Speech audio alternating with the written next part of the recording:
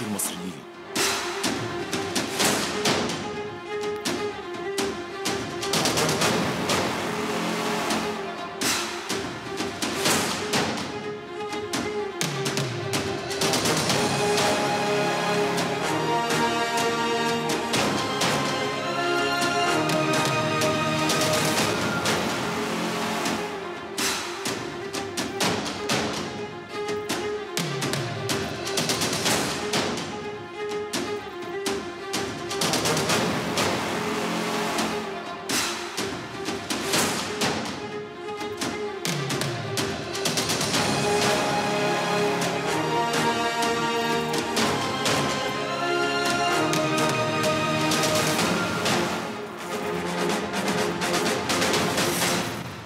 بجيشك وشعبك محفوظة يا مصر.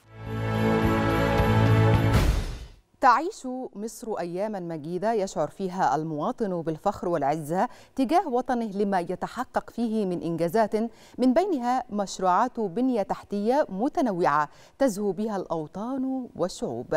كما أن المصريين على موعد مع مشروعات عملاقة تمنح الثقة للمواطنين في قيادتهم السياسية وفي جيشهم الذي لا يدخر جهدا من أجل المساهمة في مشروعات التنمية ولا يلين في مواجهته للأعداء.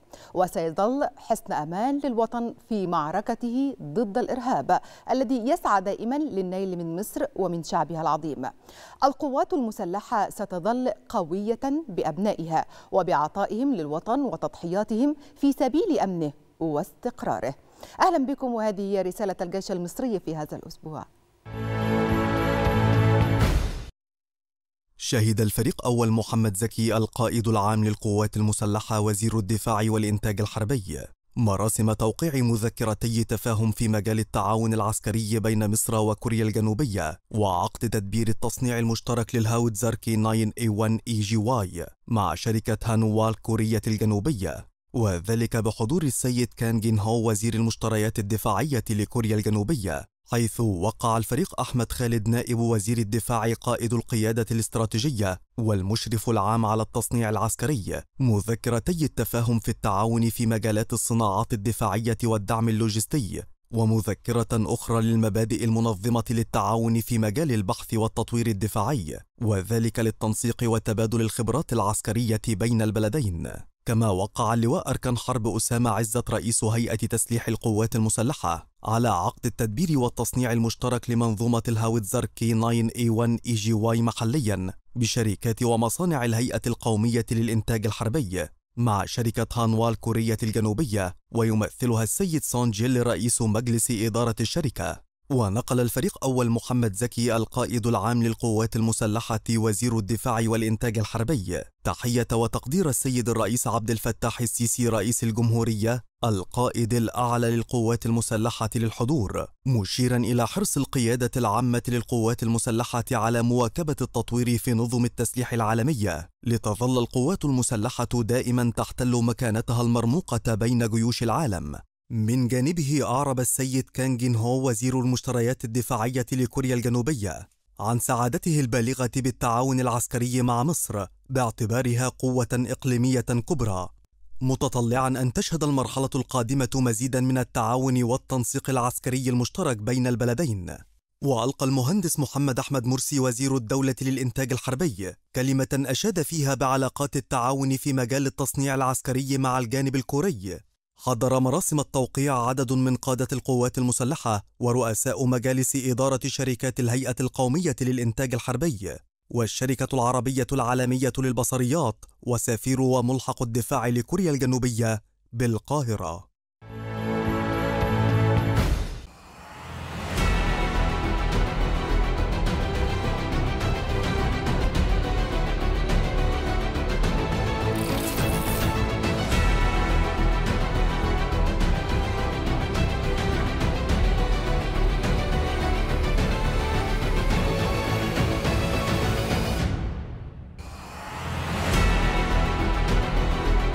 اختتمت فعاليات التدريب البحري المصري السعودي المشترك مورجان 17 والذي استمر لعدة أيام بالمملكة العربية السعودية والذي يأتي في إطار خطة التدريبات المشتركة للقوات المسلحة المصرية والسعودية.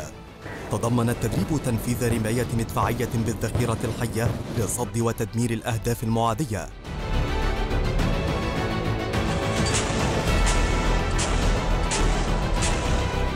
وتنفيذ استطلاع تكتيكي ضد الأهداف البحرية. وتنفيذ عدة تشكيلات إبحار. أظهرت مدى قدرة الوحدات البحرية المشاركة على اتخاذ أوضاعها بدقة وسرعة عالية.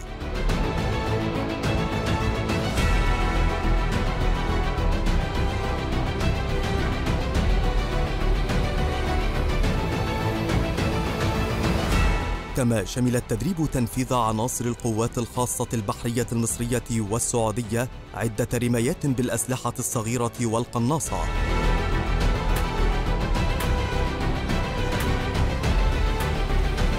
والتدريب على أعمال اقتحام المباني والتي أظهرت ما يتمتع به الجانبان من كفاءة قتالية عالية.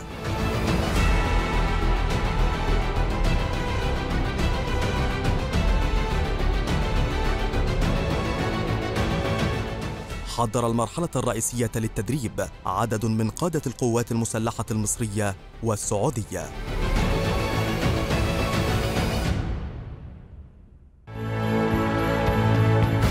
صدق الفريق أول محمد زكي القائد العام للقوات المسلحة وزير الدفاع والإنتاج الحربي. على الإعلان عن قبول دفعة جديدة من حملة الدراسات العليا خريج الجامعات الحكومية والخاصة ذكور. للعمل كضباط متخصصين بالقوات المسلحة دفعة يناير 2022 صرح بذلك مدير الكلية الحربية مدير مكتب تنسيق الكليات والمعاهد العسكرية أثناء وقائع المؤتمر الصحفي الذي عقد بمقر الكلية الحربية. وسيتم فتح باب سحب ملفات القبول من المكتب الرئيسي بالكلية الحربية اعتبارا من يوم السبت الموافق الخامس من فبراير 2022 وحتى يوم الاثنين الموافق الرابع عشر من فبراير 2022 وسيتم تسجيل البيانات الابتدائية على الصفحة الرئيسية لموقع مكتب تنسيق القبول بالكليات العسكرية على الإنترنت. تنسيق .mod.gov.eg اعتبارا من يوم الثلاثاء الموافق الأول من فبراير 2022 إن ما سطره الشعب المصري العظيم وقواته المسلحة من إنجاز يكاد يكون مستحيل كما أنه يضرب أعناق المشككين وأوهام المتربصين. ولكنه مجرد بداية لحلم رئيس يؤمن بشعبه وشعب قادر على اجتياز المحن لا طالما وجد من هو قادر على قيادته. عاشت مصر دائما حرة مستقرة وحفظ الله دائما مصر أرضا وشعبا وجيشا.